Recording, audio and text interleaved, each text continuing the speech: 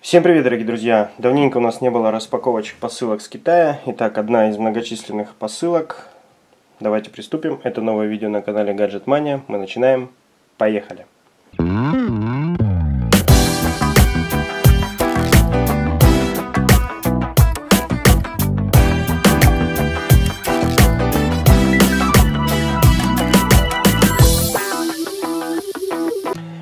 Значит, вкратце опишу. Внутри должны быть часы, умные часы, вроде как InWatch P. А, очень похожи на Moto 360 и по дизайну схожи с этими часами. Но по характеристикам пока еще ничего не могу сказать. 230 грамм, вес посылки, шла очень быстро, чуть меньше 10 суток рабочих дней с Китая до России. Давайте распакуем, посмотрим, что внутри. Не знаю, делать одно видео распаковкой сразу мини-обзор, так, так скажем так, ревью, либо разделить это на два видео, поэтому, в принципе, по ходу ролика разберемся, стоит ли о них говорить второй раз. Все довольно-таки хорошо упаковано, продавец хорошо все упаковал в пакет, еще раз в пакет, все это довольно-таки быстро дошло, доехало. Китая. Доставка у нас и пакет, то есть здесь вот указано, потому что довольно-таки быстрая доставка. Вообще, если будете выбирать продавцов, у которых есть возможность э, доставлять свои товары именно такой доставкой, в принципе, соглашайтесь. Доставка бесплатная и довольно-таки быстрая. 10 дней из Китая это уже практически норма, и это очень хорошо. Так, значит, смотрите, все, что узнал пока об этих часах, есть небольшое обсуждение на форуме ФОПДА. Там буквально 4 странички о том, что эти часы существуют. В принципе, у них есть приложение. Здесь больше ничего нету. У них есть свое приложение для iOS и Android. Работают, в принципе, с двумя платформами. Android 4.3 выше, Android, и iOS вроде как 7.0 и выше. Так, перед нами белая бело-черная а, упаковка. Давайте посмотрим вкратце, что здесь написано. Итак, здесь написано, что это InWatch P, цвет черный, о чем действие, сигнализирует нам вот этот черный, черный кружочек. В принципе, больше ничего нет, никаких характеристик. Здесь у нас ссылочка для того, чтобы QR-код для того, чтобы скачать мобильное приложение. Вообще изначально эти часы придумывались для того, чтобы работать в паре со смартфоном Meizu MX4. Поэтому даже здесь символизирует надписью Connect to Meizu. Давайте посмотрим. Это оригинал. Не знаю, есть ли подделки. Многие часы ругают, многие их хвалят. Но, в принципе, за дизайн можно, наверное, поставить довольно-таки большой плюс. Внутри у нас черная упаковка. Здесь довольно-таки интересный логотип InWatch. Опять же, Connect to Meizu. Здесь вот такой вот скотч. Открываем. И перед собой, если честно, я ожидал увидеть более крупные. На самом деле часы, по сравнению с чем, как мы смотрим их на картинке, ссылочка на продавца будет в описании к этому ролику. Часы довольно-таки аккуратные. Лежат в таком интересном поролоновом. Больше ничего нету. Здесь, наверное, стоит это все дело приподнять, потому что внутри, внутри у нас будет две батарейки, такой вот треугольник, краткое руководство, видать, гарантийное обязательство полностью на китайском языке. А мануал тоже, скорее всего, на китайском языке. Вообще, довольно-таки длинная история, точнее, не то, чтобы она длинна, но история про то, как подружить ваш телефон с этими часами заключается в том, что надо зарегистрироваться на китайском, скажем так, определенном сайте, точнее на китайской социальной сети, только после этого вы сможете подружить свой смартфон с предустановленным приложением, специальным приложением с этими часами. Здесь у нас заботливо положена вот такая вот отверточка и обычные батарейки. Срок работы вроде как до полугода, 10 месяцев. Опять же, как вы будете все это использовать, как часто вам будут приходить уведомления. Вот так вот к нам приходят уведомления, да. Такая вот батарейка. Батарейка обычная таблетка, Маркировка, я не разбираюсь в батарейках, маркировки на ней никакой нету. Заклеена таким э, изображением с надписью InWatch. Давайте упаковку отложим в сторону и посмотрим на сами часы. Сами часы у нас выполнены очень-очень стильно. Это все у нас металл. Действительно похож, посмотрите вблизи, очень похож на дизайн, похож именно на э, Motorola 360, но они, мне кажется, меньше, чем Motorola 360. От себя добавлю, что знаю на данный момент, что здесь 12 лет индикаторов, он отслеживает вашу ходьбу, ваш сон, соответственно показывает время, больше никаких нотификаций не производит, кроме как уведомления вибрации о входящих смс и вибрации о входящих звонках. Ответить, поговорить по этим часам не получится. Ремешочек в черном цвете, есть несколько версий, красный вроде как черный, коричневый и белый. В данном случае это черный. Здесь сзади у нас заводские э, пленочки транспортировочные. Здесь значочек о том, что это Пи. Также здесь написано, что это нержавеющая сталь. О том, что 30 метров погружения. Часы водонепроницаемые, защищены по стандарту IP68. Поэтому, в принципе, с ними свободно. При этом здесь 4 классических винта часовых, для чего и существует в комплекте у нас отвертка их а, аккуратненько отвинчиваете и туда вставляете батарейку. А, ремешочек не кожаный, это какой-то дермантин, но в принципе я думаю, что сделан из гипоаллергенных материалов и он не будет, скажем так, оставлять какие-то следы на вашем запястье. На запястье смотрится это все следующим вот образом, то есть действительно сделано, наверное, для больше азиатской руки, то есть, не знаю, на большой, у меня средняя рука, на большой руке, мне кажется, будет смотреться немножко по-детски. Э, ширину, то есть диагональ дисплея и толщину корпуса стального, э, скорее всего это сталь, э, либо какой-то сплав алюминия, я, к сожалению, с вам сказать не смогу. Но первое впечатление от внешнего вида очень даже положительное. Я ожидал худшего, потому что это все-таки пока еще безымянные часы, которые на данный момент происходят, проходят стадию, ну, не то чтобы тестирования, широкого распространения не имеют. Здесь у нас защелка обычная, э, то есть это металл, скорее всего, да, это металл. Э, я думаю, что отрегулируется, в принципе, по любому запястью. Вроде как существует несколько размеров, точнее их два размера. Но на мою руку, в принципе, на стандартную среднюю, среднюю руку они неплохо вот так вот застегнутся. И давайте я сейчас продену ремешок.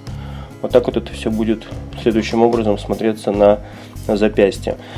Действительно, пока можно только оценить внешний вид этого устройства. Обычные часы с небольшими, скажем так, смарт-функциями. Да, есть приложение. Сейчас посмотрим, соединится, соединятся ли эти часы с приложением, уже установленным на наш смартфон. Итак, мы открыли с вами, соответственно, часы, ставили батарейку.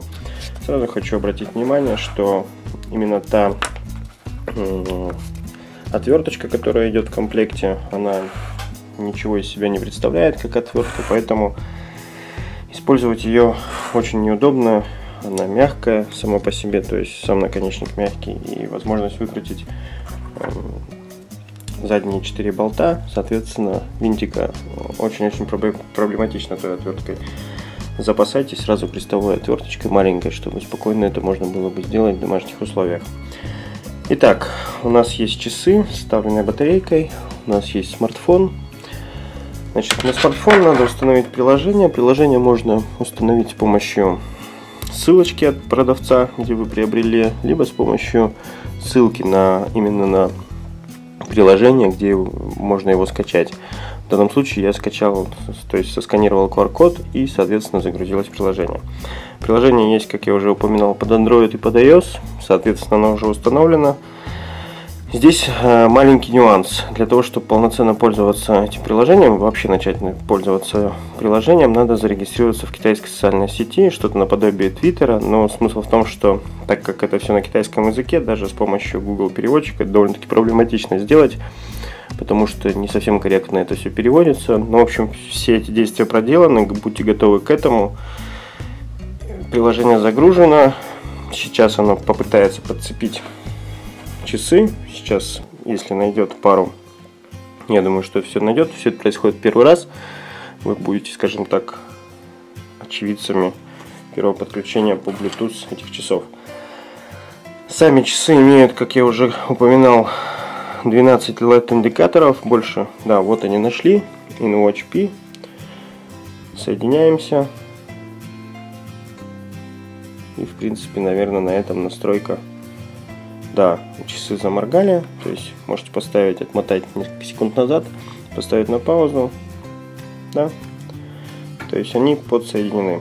Дальше вы выбираете профиль, мужчина вы или женщина, соответственно выбираете вес, рост, моем случае это вот так вот, вес у меня просто огромаднейший, 100 килограмм,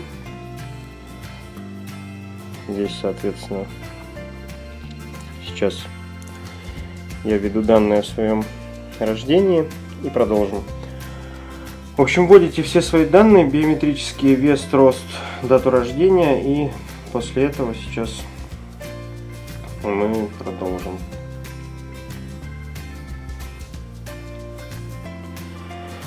Все это ввели и перед нами, в принципе, приложение немножко присутствует э, китайский софт, точнее китайский язык, но в принципе все приложение скорее всего на английском языке. Здесь э, можно отрегулировать количество, как я понимаю, шагов, то есть как во всех фитнес-браслетах, смарт-часах можно установить ежедневную норму, в моем случае это пускай будет там 7000 шагов, но я не всегда это выполняю, только когда, допустим, э, нахожусь в большом городе, там, если езжу в командировке в Санкт-Петербург, то да, мы с женой проходили там 10, 12, 13, иногда даже 16 тысяч шагов в день.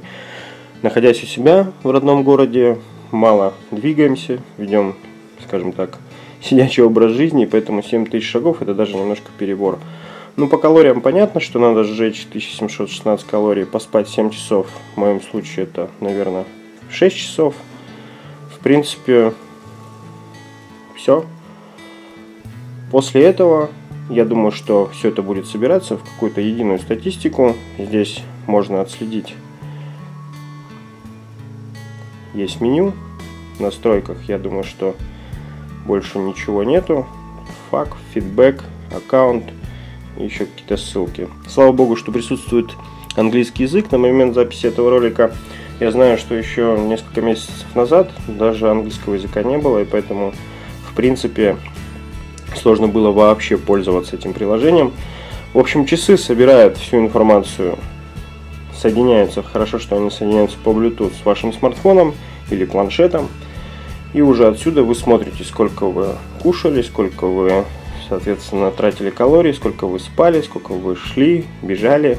Не знаю, определяет ли он виды активности, но я думаю, что он сможет определить ходьбу и бег, или, ну, я думаю, что вело езду на велосипеде или там езду на машине, он будет каким-то образом отличать от обычной ходьбы. Далее. И после этого, после того, как пройдет какой-то промеж... определенный промежуток времени, вы сможете всю эту статистику наблюдать у себя, соответственно, на смартфоне, делать какие-то выводы, может быть, давать самому себе какие-то рекомендации, или наоборот, это смотивирует вас на какие-то другие действия, то есть, которые благопол... более благополучно скажутся на вашем образе жизни. По себе скажу, что у, скажем так, не употребления, а применения, то есть э, пользовавшись всякими, у меня был Jabon App, сейчас он сломался, заказали в Америке, соответственно, по гарантии вроде как Виазоли, прислали на американский адрес, но это другая совсем история.